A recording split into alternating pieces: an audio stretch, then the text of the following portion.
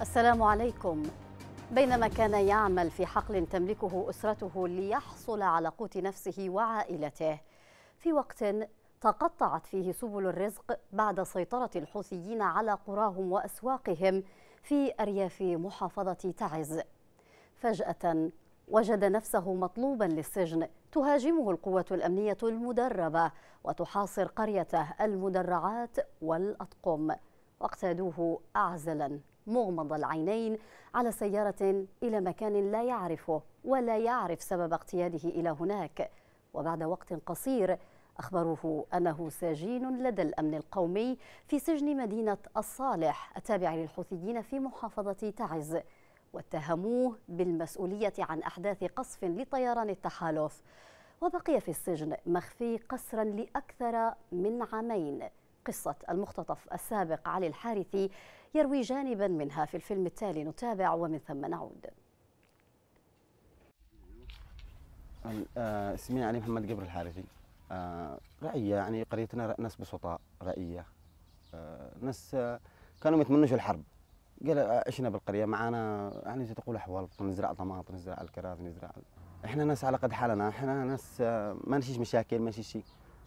حاولوا كبراء القرية يعني في تملك كيف يقولوا لهم قنبوا إحنا الحرب. تمام؟ ما فيش. اصروا إنهم يعني يقبروا كامل. اللي ما اللي مش بصفين أصفوه. بديو أول يوم قاعوا دخلوا القات حقنا. طبعا معنا حول جنب بعض. دخلوا القات اخذوا ما اخذوا من القات وخرجوا. اجاوا ثالث يوم رابع يوم وداهموا القرية كامل. طيب أنا ما كان ما كنت أحسب إنهم يبحثوا عليا. ما ما ما قش بي يعني بدهني إنهم يبحثوا عليا فكنت طبيعي ما بشي شيء. المرة الثالث داهموا فسموه بالاسم علي. قال علي ما كلمناش طبعا كان جنب عندنا إحنا داري إحنا اصحاب تعز ناس بسطاء يعني. حريمنا يشتغلين بالوادي أهلنا يعني مشاركة كل إحنا نشارك بصنع الأسرة بصنع ال... قالوا هناك يبحثوا قال قال له وين هي بيت علي؟ قال له بيت علي هناك. دخلوا البيت. طبعا هي بيت جدي بيت دار كبير بيت جدي دخلوا البيت. ما حصلوش حد اجاوا كلمونا قالوا لي أجا يدوروا هناك عندنا يعني ما بيصطلحوا إلا طوقوا خمسة طقم الحول. نزلوا سلم نفسك كذا أوتوماتيك يضربوا رصاص. إيش اللي ما بعدين شلونا. طيب وشلوا القات كامل. أصلا كان نحن نبيع قات نيفر بالحبه ونبيع قات شلونا شلوا القات كامل. ربطوا عيوني. ما دريت لا وين شلوا شلونا لا والسيارة هيلوكس. اللي شفته بعدين فوق الهيلوكس. ربط العين حقي وبرا. مشينا حوالي حق نص ساعة ساعة إلا ربع. وقفوا ونزلونا فكوا لينا بغرفة بلوك.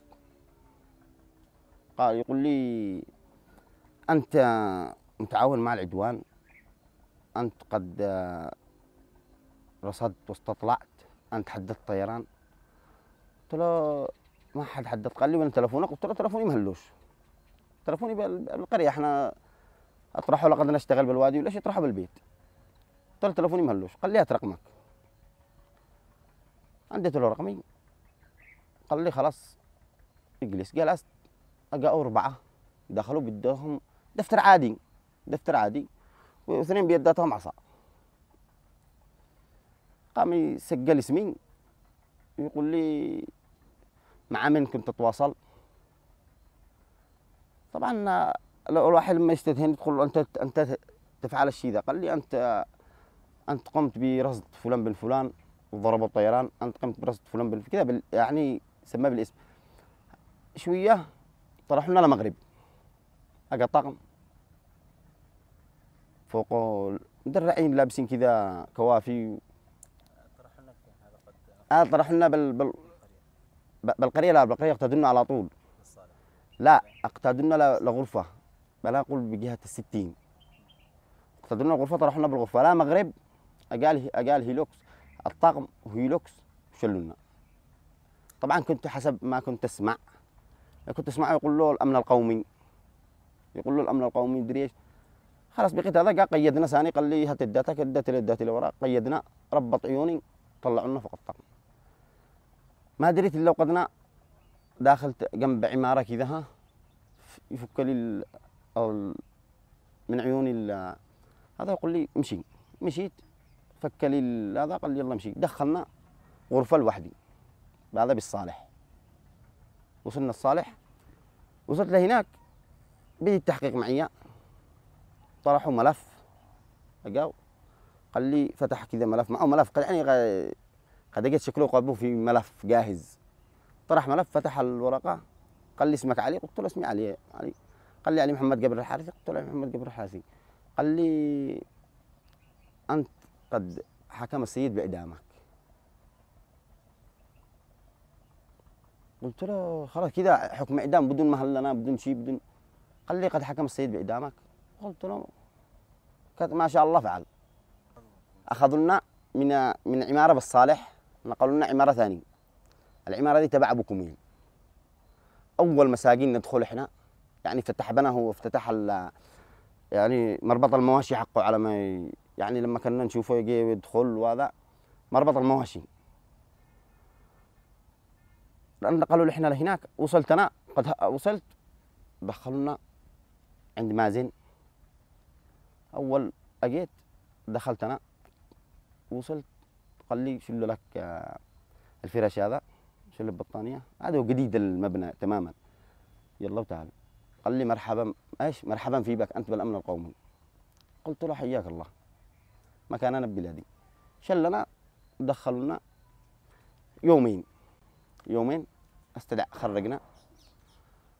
خرجنا طبعا آه، فيها معاهم لما انه الجهاز يعني يسموه جهاز الأمن القومي متطورين هناك. معاهم تسجيل معاهم تصوير معاهم آه، بدي يطرح أسئلة. رقم تلفونك رقم مدري إيش وهذا. عندي له رقم تلفوني. ما كنت أنا متوقع إنه آه، إنه بيقع ال- ال- ال- الشيء اللي بيحصل من بعدين. أنا أسمع على الأمن القومي أسمع عن تعذيب أسمع عن كذا بس مش كنت مش كنت مستوعب إنه بي بي بيكون بالوحشيه اللي يستخدمونهم. قال لي تعال. استدعونا وصلت. جلست قدام واحد اسمه أبو حرب. واحد اسمه أبو حرب. قال لي شوف أنت هنا بالأمن القومي. قلت له حياك الله. قال ما فيش داعي لأي إنكار. قلت له ما, ما, فيش أي شيء بينكر. هي هي قد قلت له قريحة حرب. يعني قد راحوا ناس مليان. معاه بش اللي أنا أزيد لو مت عادي على الله. قال لي أشتي أعرف مع مين كنت تتواصل وأشتي اعرف تفاصيل كامل. كم رصدت؟ هذا برضائك يقول شوف يقول لي برضائك ولا تشي بطريقتنا؟ بطريقتنا. قلت له كان برضائي أنا ما فيش معي أي شيء يقوله. أنا هنا أسير أو سجين أو مختطف. ما أنا داري إيش أعبر لكم؟ من يعني اللي تحسبون أنتم حسبتوني. أنا أنت اللي انت أنت أنت شئت فعلت خلاص. قوه قوة ظلم أو قوه قدره اجى الضابط الكبير دخل كذا ظبط الباب ودخل اسمه أبو كميل. أول يوم تلاقي التقي به كذا طبعا التقوا العيال كان ينزل التقوا العيال. دخل قال لي أنت علي قلت له أنا علي. ثاني ظبطنا هنا على طول بدون شيء كان لابس ميري أم مركزي. ظبطنا هنا وأتمددت أنا كذا وطرح رجله هنا قال لي أشتي أعرف كل التفاصيل. قلت تفاصيل إيش؟ قال لي اشتي اعرف كل شيء. قال لي مع- معانا رسائلك. رسائل إيش؟ قلت له ما في ما فيش أي شيء. قال لي خلاص شكلك أنت بتتعب إحنا. بس إحنا بنعرف كيف نخرج الخبر كله. كان الكهرباء عادي ما توفرش عندهم. فاستخدموا معانا العصا. كان يشوف ال- الوائرة هذه حق الكهرباء. وائرة كهرباء. كان يستخدموا معنا وائرة كهرباء. طبعا هو بالسجن يسحب منك المشدة. القائش آه لما معك شميز ثقيل يش- يشلوا عليك. يعني يسلب منك كل شيء ما يخليك إلا بمقطب وفنيله لو معك فنيله خفيف.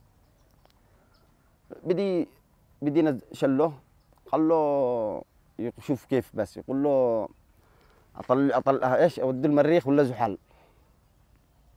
أنا أسمعهم بس أنا مغمق على عيوني ما أشوف ما أشوفهمش. قال له ود المريخ طبعا المريخ ولا زحل؟ قال له خلاص هذا بدا ابدا نزله زحل. نزلنا البرد بتحت شكله بدروم. هي اللي هي عما- عماير الصالحين بدروم نزلنا لا تحت. ربطنا كذا ها بكلبشات وبدي كان معه صبرة. الصبرة هذه استخدموا باستخدامات يعني المهم بدي طرحها في اصبعي. قال لي اشتي الخبر كله. طبعا في معاهم آه، مسجل. يسجل هذا. بدي الضرب. ثلاث ساعات ضرب منهم اثنين اللي كانوا. اثنين ضرب. هذا بالأسبوع الأول اثنين. تماما اثنين ضرب. يعني لأن أغمي علي صحانا مي ورجع استمر ثاني مرة. شوف الوائر حق الطاقه الشمسية الكبير. عطفوا كذا وخبطنا بالواير خلونا لما لما شوف جسمي معلم كامل معلم جسمي كامل مش إنه العلامات إنه أتشقق الجلد لما أصبح معالم الظهر حقي كله. ما زال الحريق يقا التص... اجا و اجا فتح الباب صيح وين مازن؟ مازن كان جنبي؟ قال خير إن شاء الله. قلت له خير. قال عند الباب قال له ابنك مات. شهاب. هو يحب شهاب. قال له ابنك مات. مازن برك خلاص. قال له ابنك جابه الطيران ضرب الطيران هو بيت مازن بالحوبان الطيران ضرب وميت ابنك. خلاص مازن براك انهار تماما. هذا أسلوب من التعذيب النفسي. قال له اتصلوا قالوا إنه ابنك مات. طيب أنت تشوف لما واحد يقول لك ابنك مات أخوك مات خلاص تصب بانهيار على طول ما في شيء. أنا قال لي أمك وخواتك ضربهم الطيران. طبعا كانوا بالقرية هم بالبلاد. طيب إيش اللي بتفعله خلاص ما انت ما أنت أنهرت. ليش؟ لأنه يضغط عليك نفسيا يقوعك حتى الجوع شوف الاكل الأكل يندي لك وجبه واحدة باليوم. وجبه واحدة باليوم. سنتين وعشر اشهر ما في واحد من أهلي يعلم وين أنا اختفيت اختفيت خلاص. كامل معتقلين مش اللي أنا بس معتقلين كامل اللي كانوا بالأمن القومي. الحمد لله رجعنا الآن بقريتنا مرتاحين. نزارع لنا بلادنا وعايشين واللي واللي بيكتبه ربي إن شاء إن شاء الله الله يشيلك الظالم. مستمر ومنع من العلاج وتدمير نفسي وحرمان حتى من أشعة الشمس وإخفاء قسري. كل هذا جزء يسير من الأهوال التي يتعرض لها المعتقلون في سجون الحوثيين بمدينة الصالح السكنية حيث لا شمس ولا قانون ولا حقوق إنسان. مئات من المختطفين بينهم عشرة المخفيين قسرا يظلون لأشهر وسنين خلف جدران السجون حيث القاضي هو الجلاد والسجان والحاكم والغريم في الوقت نفسه. مشاهدينا الكرام الناشط والراصد الحقوقي رضوان شمسان ينضم إلينا من مدينة تعز للحديث عن استمرار مأساة المعتقلين في سجن مدينة الصالح التابع للحوثيين بمحافظة تعز. مرحبا بك معنا سيد رضوان. مرحبا. إذا تابعنا قصة المعتقل علي الحارثي وهو أحد ضحايا سجون الحوثيين في محافظة تعز. نود أولا أن نعرف كيف تنظرون أنتم لقضية السجون الخاصة التابعة للجماعات المسلحة والميليشيات وكذا الشخصيات النافذة. بشكل عام السجون آه، الغير قانونية الموجودة في جميع أنحاء اليمن. نعم. آه، وهي بكثرة في مناطق في مناطق آه، سيطرة الحوثي وأيضا موجودة في مناطق أخرى. لا تخضع لأي جهة رسمية وإنما هي عبارة عن سجون خاصة وهذه السجون الخاصة مجرمة طبقا للقانون. ولا يمكن آه، آه، القول بأن هذه سجون ويمكن أن تسمى إصلاحيات بحسب قانون السجون الموجود في الجمهورية اليمنية. هي عبارة عن آه، أماكن احتجاز غير شرعية وغير قانونية. يخرج المعتقلون من هذه السجون في حالة نفسية ومادية تستحق العون والمساعدة كيف تقيم أنت مستوى الاهتمام بهم؟ حقيقة كثير من ممن تعرضوا للاختطاف والإخفاء القسري وإيداعهم هذه السجون الغير قانونية ومنهم علي الحارثي صاحب هذه القصة وأمثاله الكثير من القصص الحية الموجودة هنا في تعز أو في مختلف آه، مناطق اليمن. آه، طبعا نحن قابلنا كثير من الضحايا من من تعرضوا لهذا الانتهاك وهم في أمس الحاجة للمساعدة لكن لا توجد جهات معينة رسمية تتبنى عملية إعادة تأهيل هؤلاء أو مساعدتهم ماديا أو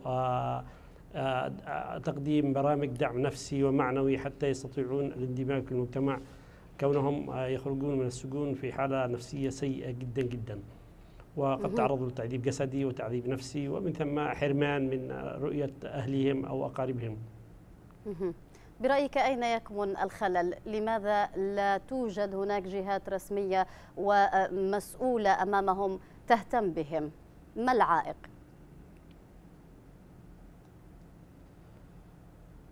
في الواقع آه، هناك مؤسسات تكاد تكون عبارة عن مبادرات فردية يقوم بها ناشطون أو محامون أو لكن آه، لا توجد هيئة رسمية أو حتى وزارة حقوق الإنسان تغفل هذا الموضوع بشكل كبير جدا.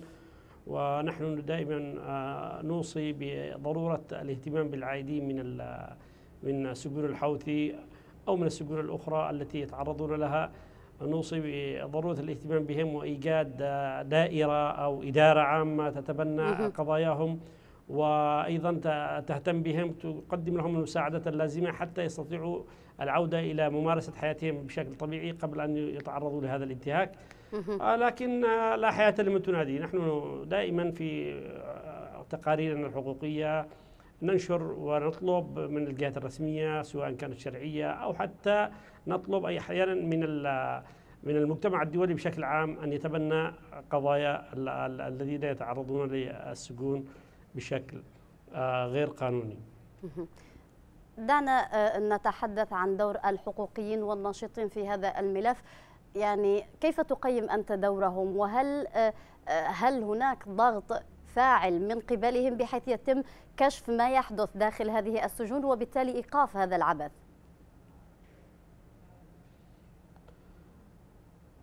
كحقوقيين نحن نحاول ونبذل قصارى جهدنا آه، بحيث إننا نتبنى قضايا هؤلاء كثيرا من من الشباب أو من ممن تعرضوا للسجون. آه، الآن أصبحوا يعيشون أوضاع وظروف نفسية سيئة جدا وأيضا ظروف مادية صعبة جدا منهم من تعرض للتعذيب الجسدي حتى أنه لا يستطيع الآن ممارسة أي عمل بحيث أنه يكسب آه، قوت يومه أو حتى إذا كان لديه أسرة لا يستطيع الآن أن يعيل هذه الأسرة. آه، أيضا آه، هناك من تعرض لهذا السجن وخرج بنفسية سيئة وهو الآن لا يستطيع آه، حتى التحدث معنا بالشكل الطبيعي وحتى لا نستطيع أحيانا في بعض السجناء لا نستطيع فهم ما الذي تعرضوا له ولا يستطيعون الكلام حتى وإن كان قادر على الكلام تجده نفسيا قد يعني ظروفه صعبة جدا ولا يستطيع أن يعطينا معلومة مفيدة.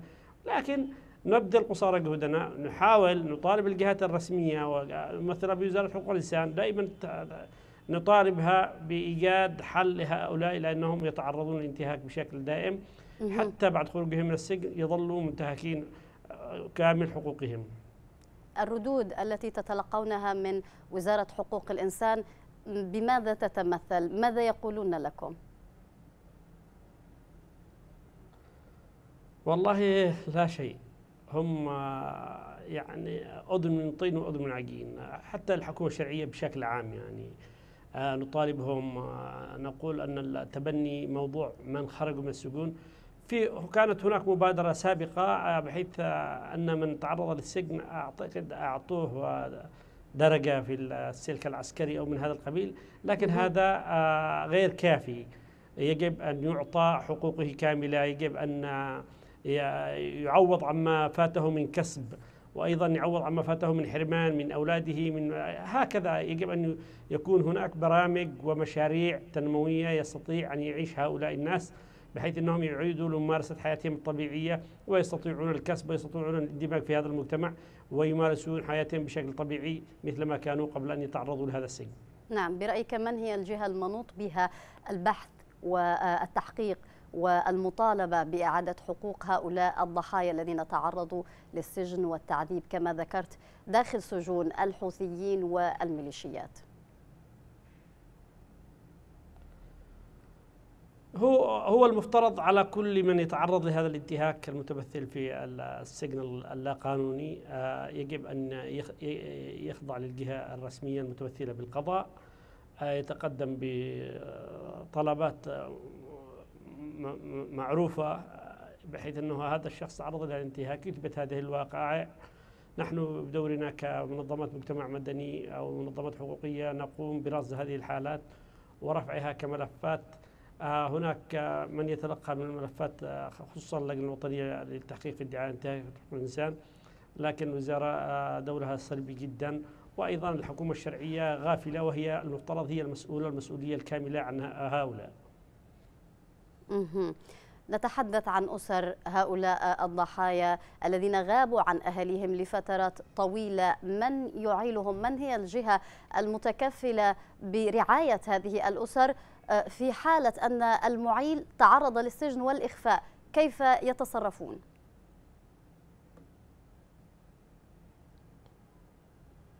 في بعض الأسر تتحرك ذاتيا تتجه الجمعيات لمؤسسات خيرية يقومون بجزء من الواجب لكن هذا لا يعطيهم الشيء المطلوب كامل.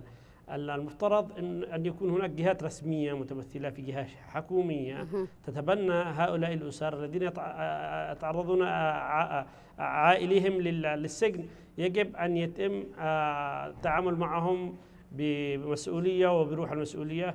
نحن نعرف من الناس كثير منهم الآن في السجون يعني تعرضوا للسجن ولا زالوا في السجون وهم الآن في حالة نفسية سيئة. آه، طبعا هذا الكلام منقول عن أناس خرجوا من السجن آه، التقينا بهم. آه، أوضاع سيئة جدا جدا داخل هذه السجون والمعتقلات. تخيلي أنه في مدينة صالح بشكل عام هذا هذا المعتقل يعني لا أسميه معتقل لأنه نعطيها الصفة الشرعية لكن نسميه هذا المكان السجن هذا الخاص بالحوثيين. هو سجن فيه من الظلم ما لا يمكن تحمله. تخيلي أنه في الشقة الواحدة عبارة عن ثلاث غرف. الغرفة الواحدة لا يمكن أن تكون ثلاثة على ثلاثة متر وفيها عدد 35 أو يزيد 35 سجين أو يزيد في هذا السجن. فيعني تخيلي أنه أحد ال ال ممن أطلق سراحهم بالصفقة الأخيرة هؤلاء. يحدثني يقول أنه كان إذا دخلت إذا أصيب أحد الناس الموت أحد السجناء المتواجدين في الشقة آه، في حمى أو زكمة آه، يتعرض كلهم لهذا لنفس لنفس المرض بدون إعطائهم أي دواء دون إعطائهم أي وسائل حماية أو أي وسائل وقاية. تخيل يعني يعني آه، قارورة من الماء لا لا, لا تساوي لتر يستخدمها طول فترة اليوم. يعني هل للشرب وإلا الوضوء وإلا النظافه يعني أمور سيئة جدا. وطبعا نعم.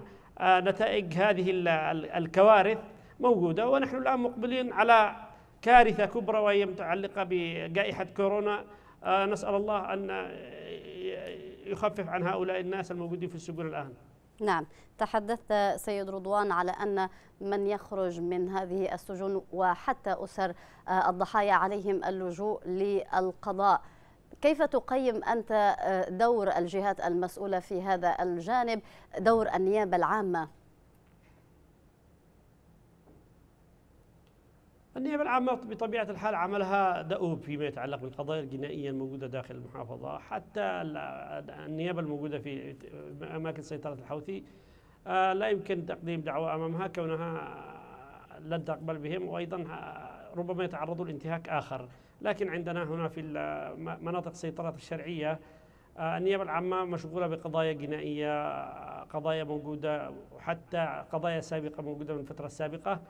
وكثير من الناس لا ممن تعرضوا لهذا السجن لا يتقدم بدعوة لأنه آه، إذا تقدم بشكوى أمام النيابة العامة آه، فالمتهم آه، يعني النيابة العامة ستقدمه من هو المتهم هذا على أساس أنها تقدمه كمتهم أمام أمام القضاء الموضوع ما فيه فيه لبس كبير جدا والنيابة العامة تتحمل مسؤوليتها لكن يظل صاحب الشخص المنتهك أو المجني عليه هو المعني بتقديم هذه الدعوى أو الشكوى أمام النيابة العامة.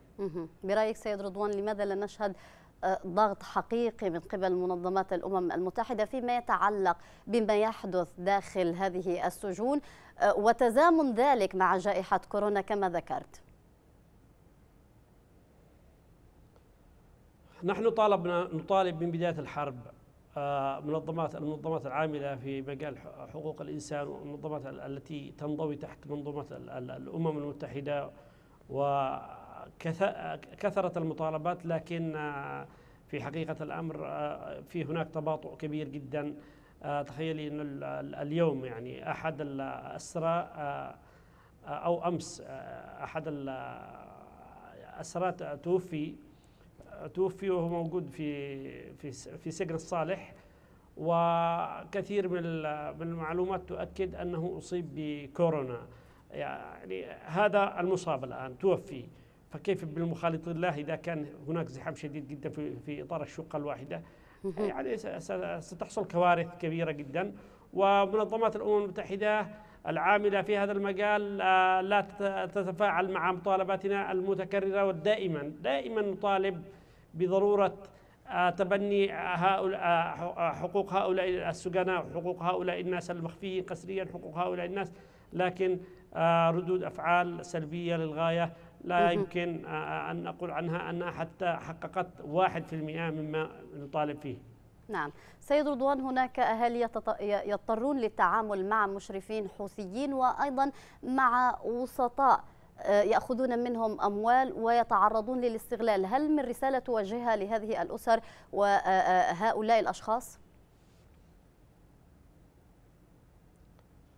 ماذا نقول؟ الرسالة التي يمكن أن نوجهها لهؤلاء الأسر هم مكلومين. هم بحاجة إلى أن يفرجوا عن عن عائلهم أو عن أو عن ابنهم أو هكذا فهم سيقدمون ما يقدمون. كثير من الناس تعرضوا لابتزاز وتستطيع أن تقولي سرقة أو نصب واحتيال حاصل من بعض من يسمون أنفسهم المشرفين المتواجدين في مناطق سيطرة الحوثي.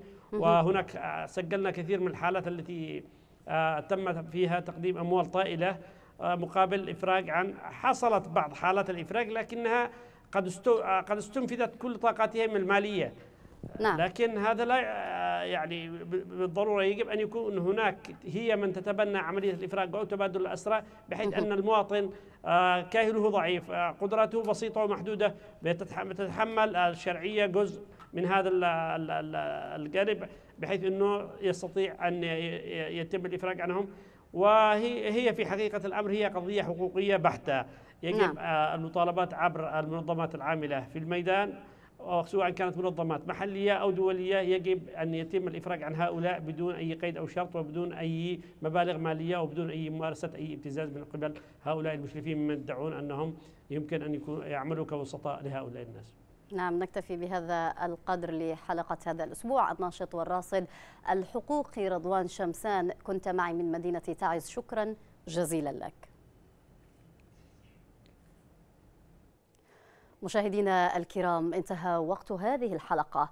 نذكركم بأن وسائل اتصالنا مفتوحة من خلال الإيميل الظاهر أسفل الشاشة أو صفحتنا على الفيسبوك. ويمكنكم مشاهدة الحلقات السابقة من البرنامج على قناة بلقيس على اليوتيوب. المعتقل السابق علي الحارثي تم الرصد في أمان الله.